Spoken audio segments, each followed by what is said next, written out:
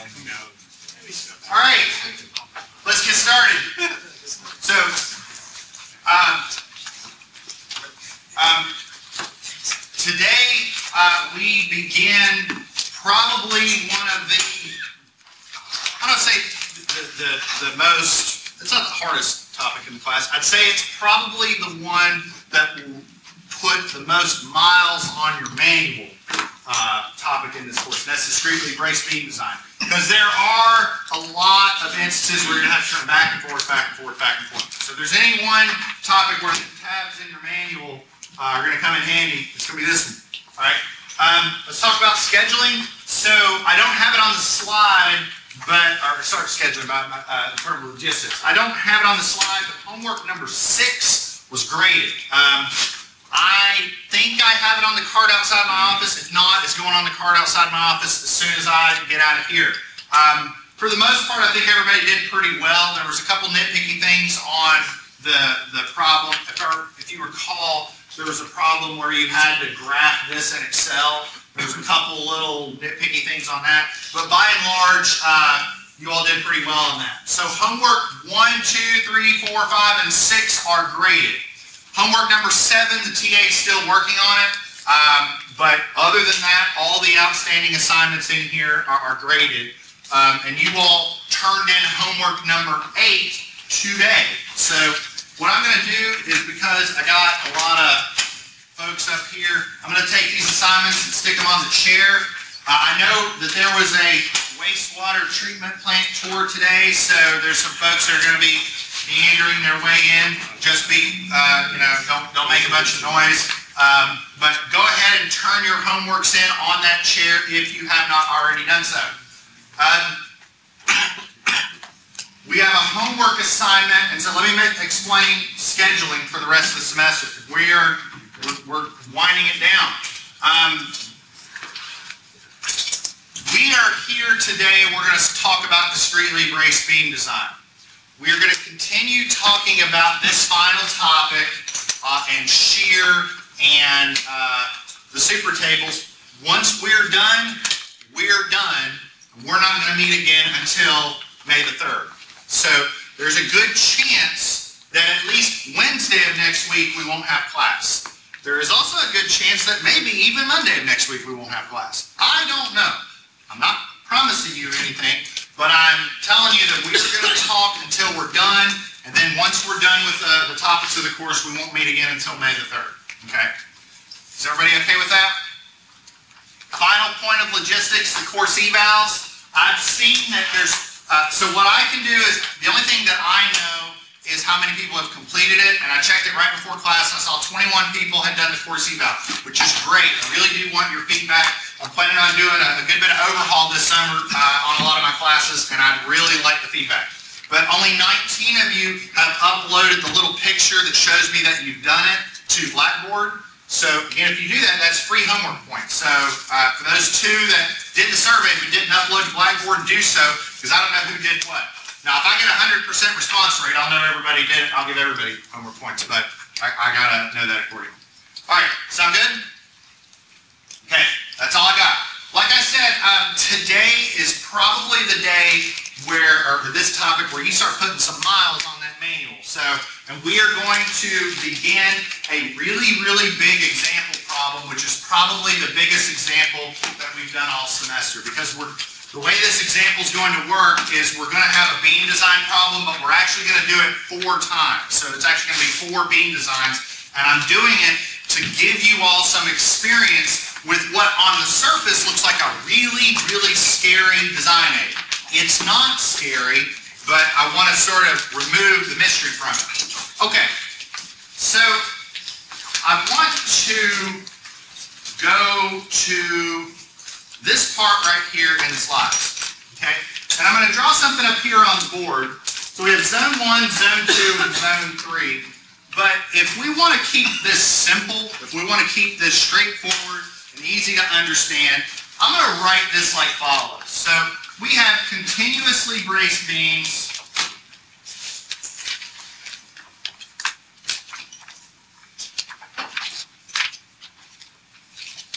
and we have discretely braced beams.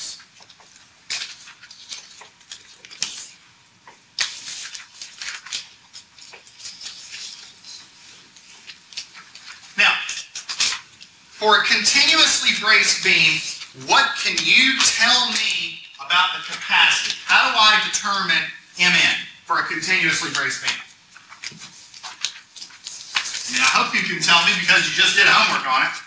What is the capacity of a continuously braced beam? Well, the 0.9 is the feed value, so, I mean, there's that. But what is FYZX? Just verbally. The plastic moment. So, that's the capacity, right? Of a beam that is continuously braced that isn't going to buckle, okay? Well, for a discretely braced beam, if you want a really, really simple way of writing what the uh, discretely braced capacity is, what do beams that are discretely braced want to do? like behaviorally. When they fail, they're going to fail by doing what? What they're twist, they're going to buckle, right? They're going to go un, undergo LTB, lateral torsional buckling. So I propose that the capacity is going to have something to do with whatever the lateral torsional buckling capacity is. But there's a couple things wrong with that. First off, it's not enough by itself because when we derive that, we assume that the capacity, or we assume that the moment is constant. So we adjusted all those capacities by a C sub B quantity, right? Remember that? So here's our equations for zone 1, zone 2, and zone 3. And all these zones related to buckling, we've got this C sub B term in there.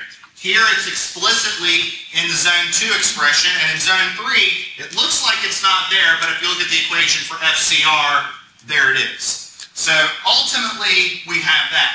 But even this isn't enough. The reason why it's not enough is because if I look at the plot, here's the plot with CB equals 1. Here's the plot with what happens when you introduce a C sub B. And C sub B can serve to increase the moment capacity. But what's the problem with that?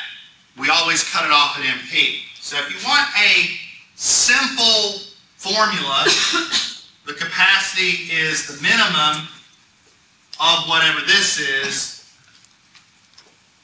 or that. Would that be a simple way of writing it? Just conceptually. Now, what gets tricky is how do we compute the, the LTB moment? Because there's a lot going on. I mean, here's what the curve looks like. You know, we've got LB, we've got MN, we've got zone 1, zone 2, we've got zone 3, this is MP, this is MR, this is LP, this is LR, and there's a whole bunch of stuff going on uh, with those expressions, right? So if I look at those equations, they get, let me skip ahead a little bit. If I look at those equations, they get pretty nasty pretty quick, right? I mean, just look at the FCR expression. The FCR expression has J's and section moduli and RTS values and all bunches of, of, of different variables all over the place, right? Okay, here, here's the point I'm making. I want to go back to something that we did with columns. See, with columns, we had just one curve, right? On this curve, we had K, on this axis, we had KL over R, and on this axis, we had some buckling stress, and we were able to write a curve that looks something like that. And the nice thing about columns is, granted, while we had two different equations, we had an inelastic equation, we had an elastic equation, what was nice about columns was that we could use one equation and that one curve would work for any column in the manual. In other words, the column capacity curve for a W10 by 49 was the exact same column capacity curve for a, Uh, a W8 by 31 or uh, uh, W whatever. I mean, we could use the same curve for every column. We can't, however, use the same curve for every beam. See, this curve is dependent on a bunch of different parameters for each beam. So like FCR, FCR changes if I'm looking at a W14 by 22 versus a W30 by 90, because each of those two shapes have a different SX value, and an RTS value, and a J value. So unfortunately, every time we draw this curve, it's always going to change if I look at one shape to another. The, the curve always changes. So unfortunately, that creates a little bit of a mess from a design perspective, okay? We did an example last time where we looked at analysis, okay? Uh, and overall, is everybody okay with that example? Did anybody have any questions about how we, you know, calculated FCR, how we looked at BF values or LP and LR? Was that, was all that stuff pretty straightforward? Okay. Well, he- here, here's the thing. To design a beam that's discretely braced, we need this. We need this curve uh, because that curve tells us the capacity of the beam based off LTB. And it's difficult because every beam has its own curve. So the way that the manual handles that, you're going to laugh, but it does this. It basically plotted every damn LTB curve on top of one another. Okay? All right? This is on table, this is table 3-10. I I put on the announcement slide as 3-11. That's my fault. Apologies. This is table 3-10. It starts on page 3-99. Uh, if you have your manual, you should, I mean, you definitely need to have your manual. And, and I'm gonna tell you, look, you really need to bring it like for the next few days because understanding how this, this, uh, uh, design aid works, it's not hard, but it would really help if you had it with you. Just, I'm just telling you. Um, okay. Now, first off, this may look like a mess, and it is. Um, basically, all this is, is that curve plotted to scale for every beam in the main. Okay? Now, there's a couple things that I want you to sort of pay attention to. Um, first off, um, if you look over on the y-axis, okay, on the y-axis, you will see that there are actually two different scales. Keep in mind that you're always going to be using the blue numbers, not the green numbers. But um, that's the first thing I'd like you to pay attention to. The next thing I'd like you to pay attention to is the lines themselves. Okay? Anybody, what's going on between the two curves? Like, does anybody see a difference between the way the lines are plotted? Like, some of them look solid, and some of them look dashed, right? Does everybody see that? Why do you think that is?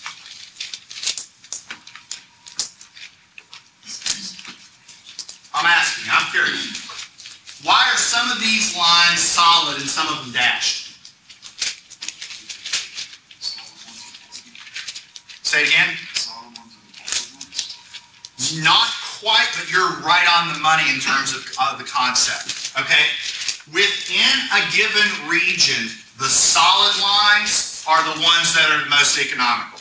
Okay? If you go back to the ZX table, remember how you'd solve for ZX, but then you wouldn't pick the, the, the shape that had that near ZX value. You'd always go up a few rows until you found that first bolded row because that first bolded row was the lightest shape within that given region, right? Well, it's the same thing here. So what you're going to do is you're going to find a point and then go to the next solid line. I'm going to show you how that works here in a second.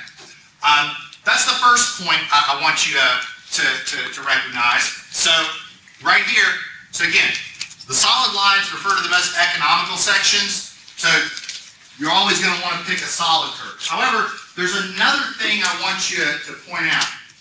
What is the Fy value for these curves? 50 KSI. So right off the bat, these curves are only valid if Fy is 50. And if Fy is not 50, these curves are completely invalid. Okay?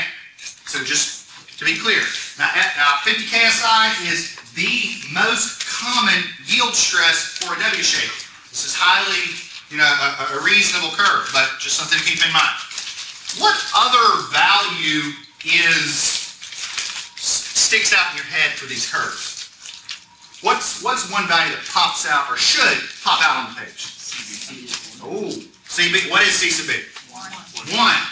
So these curves have been drawn based off of a C sub B value equals one. Okay, and that's really, really, really important. Yes. Um, you said it was on page three ninety-nine. Yes. Technically, these That- start on three ninety-two. Is Is that a typo? And that's in a box too. I didn't know if there's something particular about three ninety-nine versus the beginning of. Oh, no, I know why, I know why, I know why. This, that's the one on that page, I think. No, that's Or it's not. That, it's typo, it's typo. They start on three ninety-two. So we're gonna go and add like half a mistake for that. We'll add half a mistake.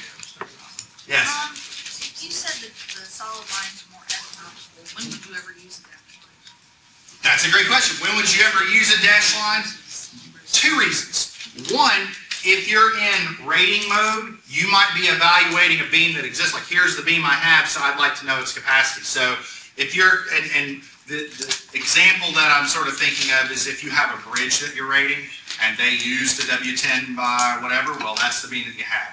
Um, the second reason as to why you would use a solid line or why you would use a dash line, by and large, I wouldn't unless it was the only thing that was available.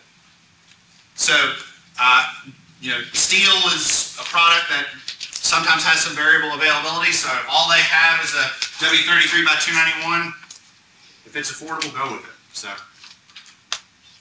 The, I mean, honestly, so, that would be my short answer. I feel like that, just, I, yeah. Isn't there a chance that like the LTB wouldn't govern with the LTB failure and then you could use that on something? you're stealing my thunder? I'm getting to that here in a second. I'm, you're, there's, there's a very explicit point I want to make here in a second about how we handle that. Because I want to go back to something that we looked at on example two. Or, sorry, example two. Uh, the last example that we did for zone two. Sorry about that. We did an example last time where we looked at the capacity of a beam as its unbraced length increased. And so we had an unbraced length of five feet, an unbraced length of 15 feet, and an unbraced length of 25 feet. Y'all remember that? What was the capacity for zone one? Does everybody remember what we got for the last example?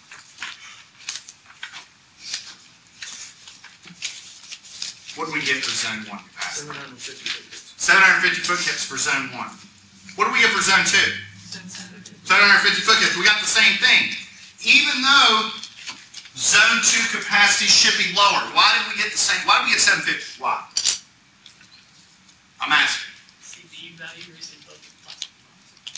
Exactly. C sub B values augmented the capacity, but I don't care what C sub B does, you're limited MP, right? Okay. Okay. That's a big key point I want to make. Okay, so let me explain how this curve works. The table plots the capacity for a C sub B value equals 1. You got to plot it off something. So all those plots that you see there are plotted assuming a C sub B value is 1. Okay? We rarely deal with C sub B values that are equal to 1 in practice. So what we have to do is this. We do our structural analysis and we compute a factored moment. Okay? And what we do is we go into that table with, on the x-axis, we go on the unbraced length, and on the y-axis, we go into the table with not the factored moment, but the factored moment divided by whatever C sub B is. Okay, so by dividing it, we sort of are kind of going into the table with the C sub B value equal to 1. But there's a very important point to make about that here in a second. Let me explain the mechanics of how the table works. So let's say that you do some math and you have an LB value of 20 feet and you do MU over CB and you get something like 272.5. And I want everybody to do this together because I really want this to, to be clear as to how we're doing this. Okay?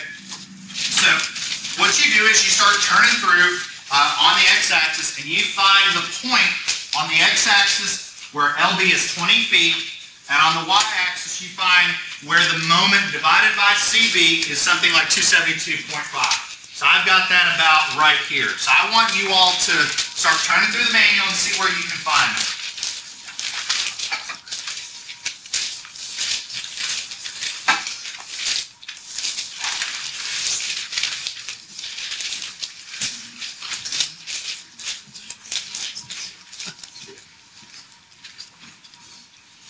I- And don't don't worry about the blue shaded region or anything like that right now. I just want you to find that page and that point in these tables. Because these tables cross over, you know, like ten, you know, like twenty pages or whatnot. So I want you to find that point.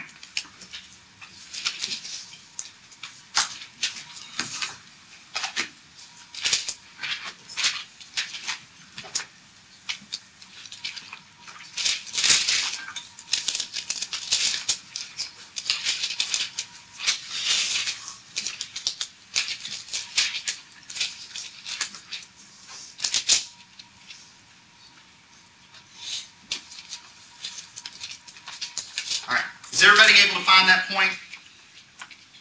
This is important. If you're not able to find that point, this is, this, like, I, I really want to make sure that we're comfortable with this. Because we're going to be doing this a lot here in the next few days. So, you able, you got it? You got it? You got right there?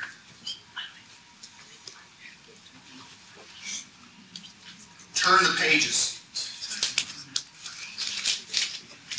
Turn the page. See?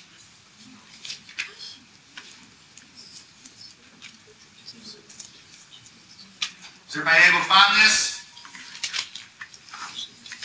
If issue, don't be shy. This is good stuff. Okay, all right. Now, I have a, you, you had asked, like, when would you ever use a dash line? I have a little bit of a better answer, because I just thought of it looking at this slide. Remember, the solid lines are the ones that are economical within a given region. And if you look right here, look at, for instance, the 16 by 67, see how it's solid here, but then it's dashed? Because as you drop down here, the 65 is actually lighter. So it actually just depends on which region you're in. So there's, that's a little bit of a better answer. Okay, all right. What I want you to do in your head, once you have found that spot, is draw you a little crosshairs, like I have here, these red dashed lines. Okay? Any section that's in that blue region in quadrant one, the upper right-hand quadrant, is a safe section. Okay? Why is quadrant one the section that's safe? Well, anything in quadrant one is going to indicate a section that has a higher moment capacity and a section that has a longer unbraced length. Does that make sense? Because remember, what does unbraced length do? As the unbraced length gets larger, the capacity, how strong the beam is, goes down, right? So anything over here is going to have a longer unbraced length. Longer unbraced length means weak, weak means stronger, uh, stronger capacity if, if the values are higher. Right. Is everybody okay with that?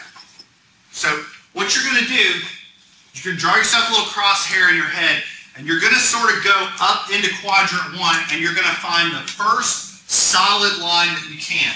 So for this instance, what shape is that? A 14 by 61. Now, I know you can see that on the slide. I want to see if you can see that in the manual. That's the big thing. I want you to make sure that you can see that. That you can find that point, go up to the right, and find that W14 by 61. Does everybody see that?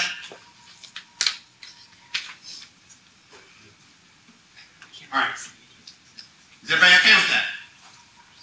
Now, the big point, and I can't begin to stress this enough more than anything, is that that W14 by 61 is a trial shape. It is not necessarily the final selection. We pick that shape, we have to check its capacity. We absolutely must check, check its capacity.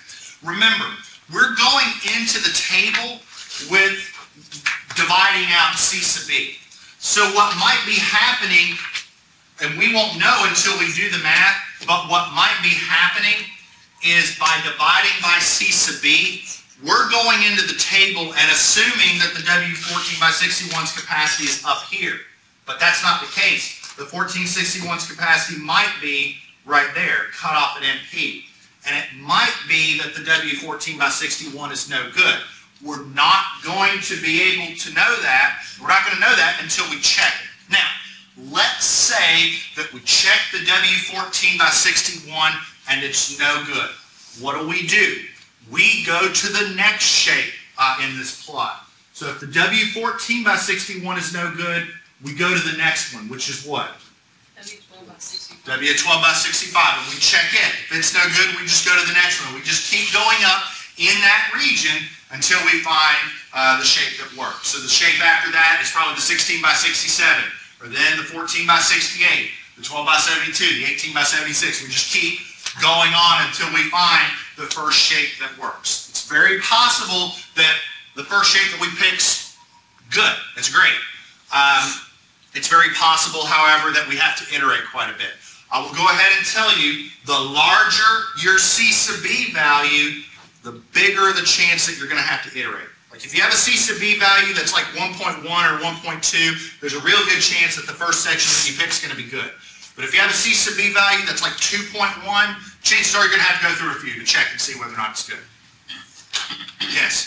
So say that this shape does work, the fourteen by sixty-one with the CB being assumed to be wrong, do we not have to recalculate C, CB, or can we just go with the assumption? No. I think what we do in the, in the next example is gonna clarify that, but we're gonna take this section and then analyze it, like we did in example twenty-three. Determine its capacity and see if phi m is greater than or equal to mu. Does that make sense? We're, we're gonna practice it, so don't worry. We're got, we're gonna do like four different beam designs to make sure that we're comfortable with this. I guess what I'm saying is, how do you, how can you just assume C sub B is one? We're, we're not. We're, we're, let me be clear, okay? We're going into the chart dividing C sub B out. But the way that we verify that assumption is checking its capacity. So this isn't the end. Like, we don't just pick a section and, and- and go home. We have to go check that section. So we, we make the assumption to get a shape, but then we have to verify that assumption. All right. Everybody good? You look like, did you have a question? No, I- well, I kind of did, but just for like the intent, like purposes of this course, we're not ever gonna use dash line. We're supposed to use No, no, no, no. What did you say exactly the dash line were? They're the sections that are a little bit heavier within a given region. So look right here. Okay, look at this. Okay, if I go up, the first section that I see is like this W21 by 68, but it's a lot lighter than the W14 by 61. In that given region, the W14 by 61 is the lightest. So start there. Let me be clear also about another thing.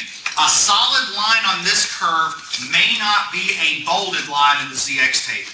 Okay, again, it's all about what's the most economical section within a given region. Within this region right here, the 16 by 67 is a potential option. But down here, it's not because it's dash. It's just all about what's the most economical section uh, within a given region. Th- Does that make sense? Yes. So if it changes to dash before your horizontal line, then it's out, right? Yeah, yeah. Yeah. Okay. Makes sense. That shouldn't happen within quadrant one. I guess it's possible that it could, but it usually doesn't. So, does that make sense? I wish I had a better answer for that, but it's really just a region by region plot, and so it just depends. So I, don't really, there's, there really isn't a better answer there. So. All right. Does anybody have any questions? Okay, all right. We've been doing a lot of talking about these charts, and I think we need to use them. Okay, now.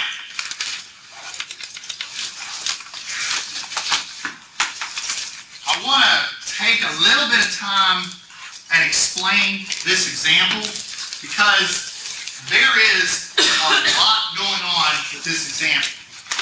Again, this may seem like one example problem, but in reality, it's four beam designs, okay? So, what we're gonna be doing is selecting the lightest W shape to resist a dead load of 600 pounds per foot. And for the ease of this problem, we're gonna assume that that includes the self-weight of the beam. These beams for this problem end up being fairly light anyway, so it's not that big of a deal. Um, and it's gonna uh, withstand a concentrated service line load of 40 kips at midspan, okay? So I wanna be absolutely clear as what the problem looks like. Okay, so it's a 20 foot long beam and it's simply supported. Here's the bean. It's subjected to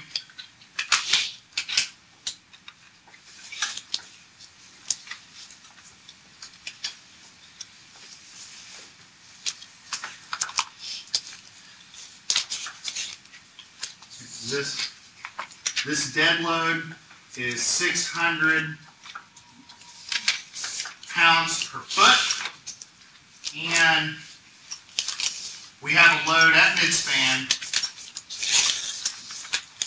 where that is forty kips. Okay. Now, first off, we are also, we, we are going to impose a deflection limit, a live load deflection limit of L over three hundred. We're actually gonna handle that first. Each of the four beam designs that we do are all going to have to meet that deflection limit. We're gonna find that it's not gonna be the biggest deal in the world, um, for, for most of these beams, but I am gonna pose that limit to make sure you're thinking about it in the back of your head. Alright, now, like I said, we are going to do this problem four times, four different beam designs, okay? And we're doing it four different times so that you all feel real comfortable with this process, okay? So we're going to do it twice, assuming LB is 20, and twice, assuming LB is 10. So LB of 20 would be assuming that there's braces here and here, okay? LB is 10 would be braces at the end and at midspan.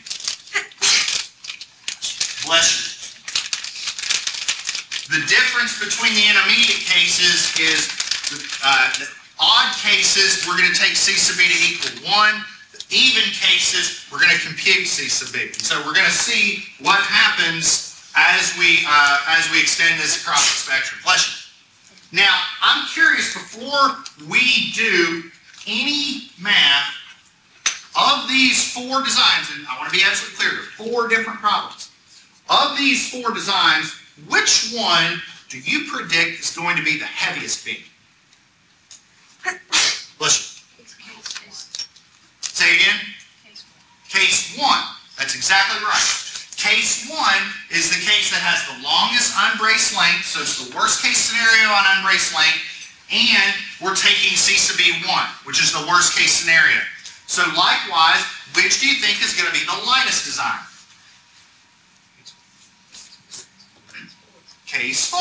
There we go. That's exactly right. Bless you. It's a pollen season. I, I totally understand. Um, I, I'm basically an allergy pill in, in every morning around this time frame. Okay, so with that, let's go ahead and just start diving into it.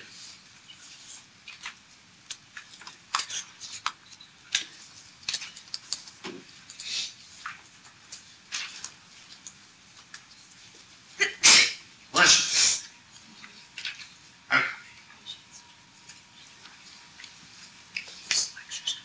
All right. So at the very least, we will probably get at least case one done today, maybe case two. We'll see. All right. Example twenty-four.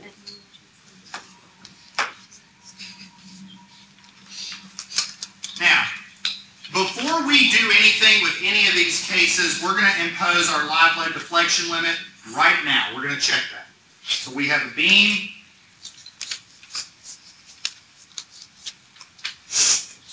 is being subjected to a load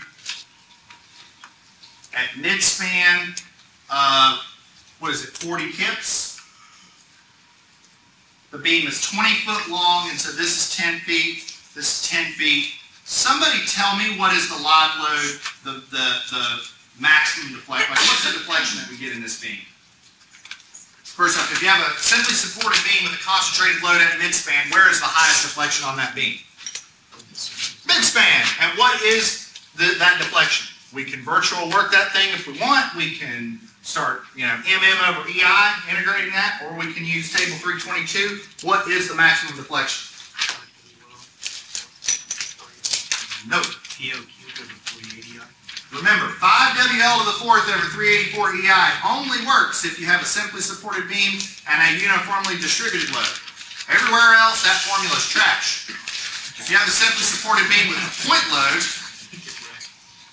PL cubed over forty-eight EI.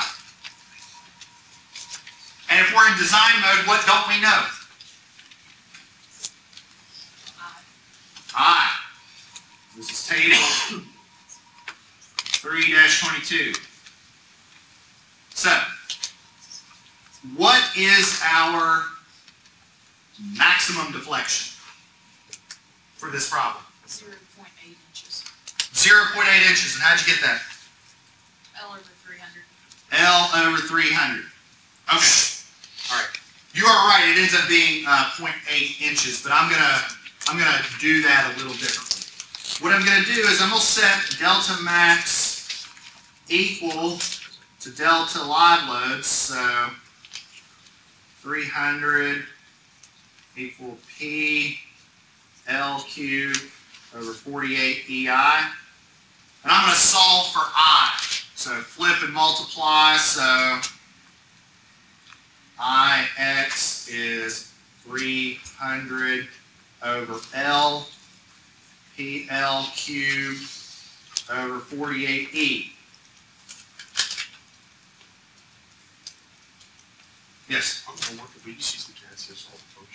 Too. I am okay with that. I'm not a mathematician, I'm an engineer.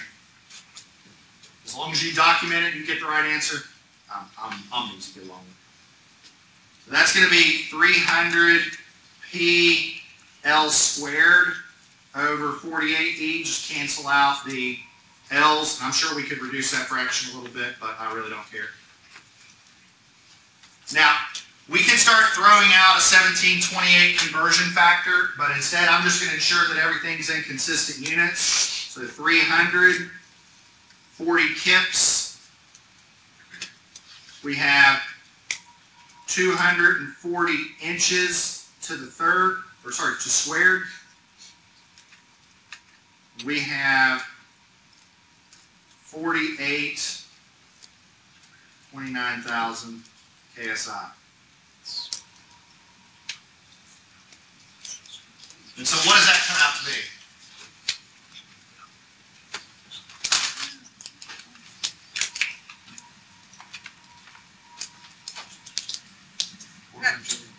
Ninety-six point six. Four ninety-six point six? I, got twenty-four eight. Did you square that, or? Three hundred times forty? Okay, hold on. I got four ninety-six point five five. I think you're, I think you're getting overruled this time. Four ninety-six point six?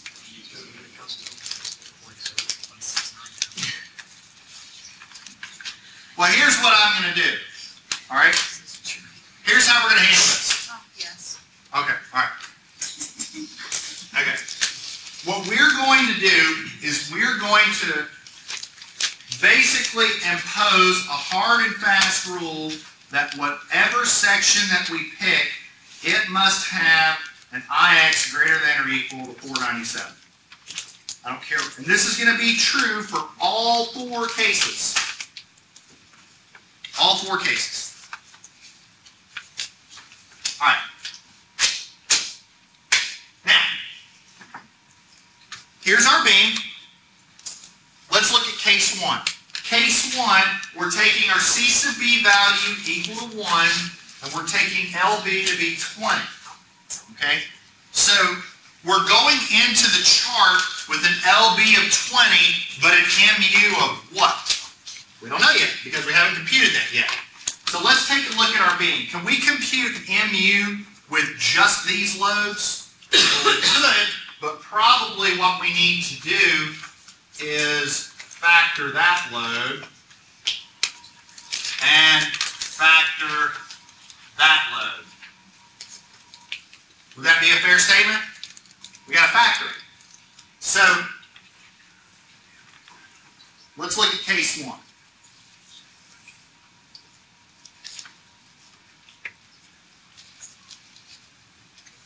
What is W sub U?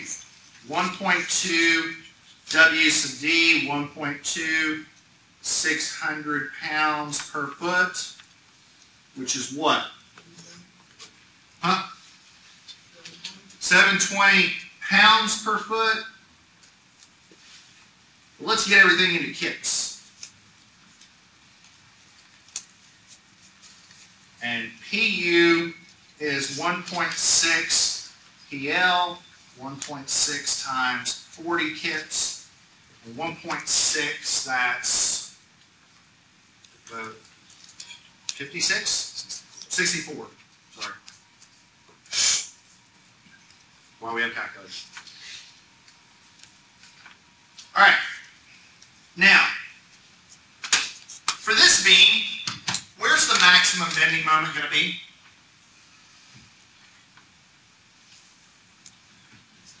Dead center, right? And what is the bending moment going to be? Well, I propose that the center line moment is going to be the center line moment due to the distributed load plus the center line moment due to the point load. What is the bending moment at midspan for a simply supported beam subjected to a uniformly distributed load? WL squared over eight. Boom! WL squared over 8. What is the simply, or the, the bending moment in a simply supported beam due to a concentrated load at midspan? PL over 4. The answer is not to take this load and divide it by 20 to get a kips per foot and say WL squared over 8. That is not the answer, and if you do that, shame on you. PL over 4. So the bending moment is WL squared over 8 plus PUL over 4.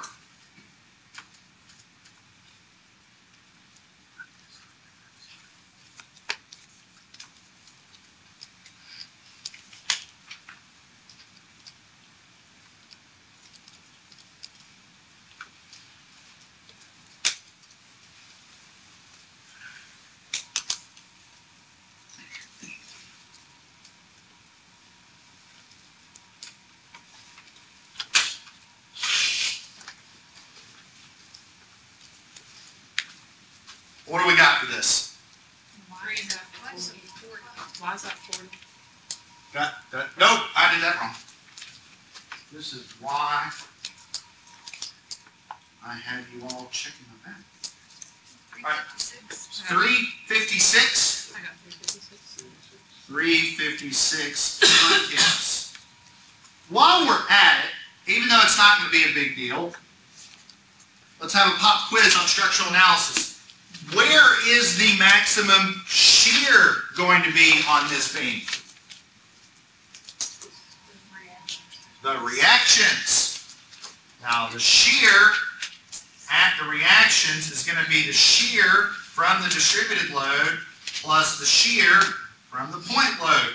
What is the shear here from a point or from a distributed load? WL over 2. What is the shear from a point load? P over 2. Do not take that point load and divide it by 20 to get a distributed load. I will again ask you to stick your hand out so I can do that. WL over 2 plus P over 2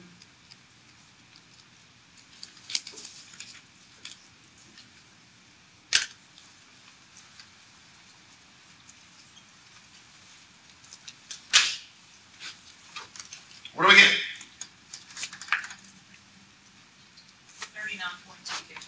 39.2 kips. Do I have a second on that?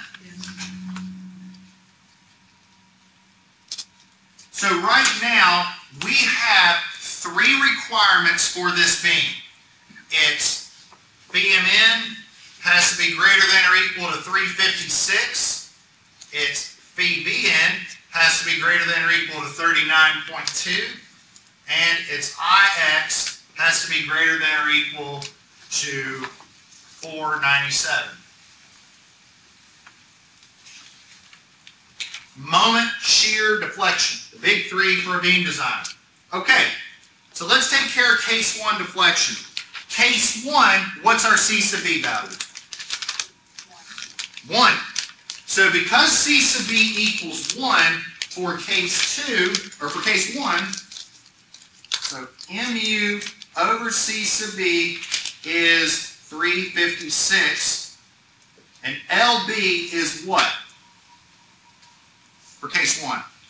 Twenty. Use them charts that we just found and pick me a shape.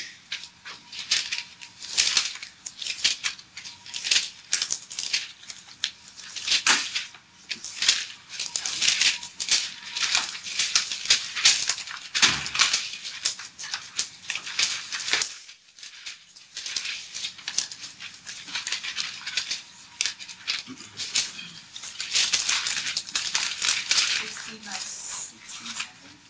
I got a candidate, uh, sixteen by sixty-seven. Who else is gonna second that? Yep. There we go. What page are you on? 3-118. 118. So a sixteen by sixty-seven, and that's on page three one eighteen. Is everybody able to find that?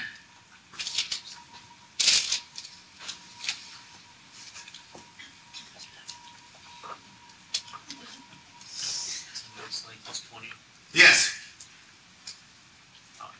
because it is for this case. Yes. Who is not able to find that? It's okay if you're not, but tell me. I mean, this is important. All right. Now, what I want you to do before we call this as our answer, I want you to turn to table 3-2 to the ZX tables, and I want you to find the W16 by 67.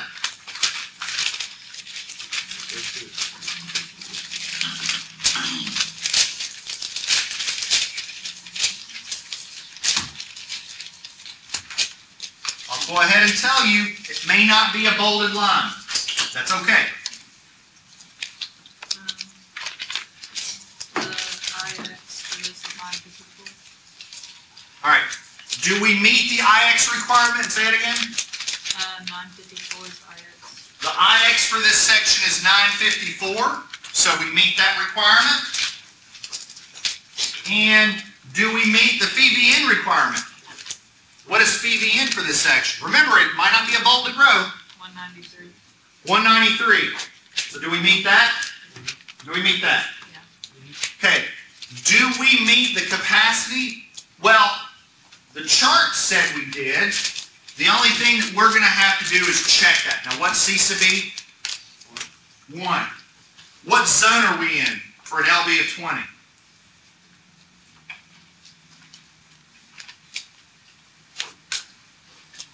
Hold on, hold on. Let, let's write a couple things down. So, VB, V, and X was what? 193?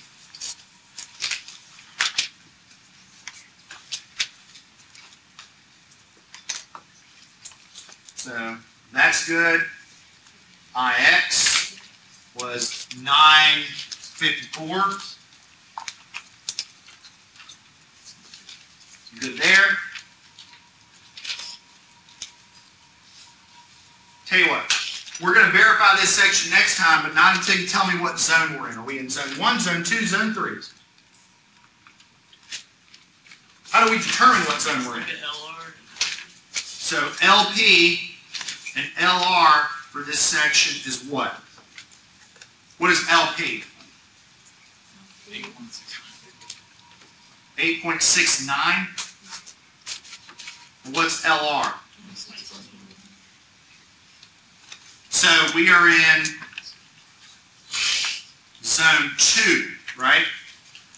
What is our BBF?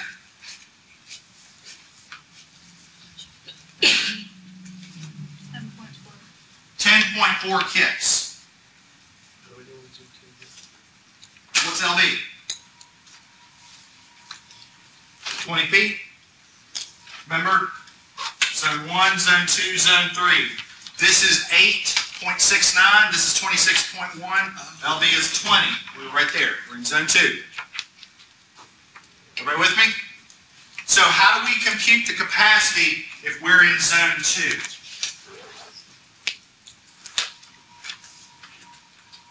Remember, that's your expression?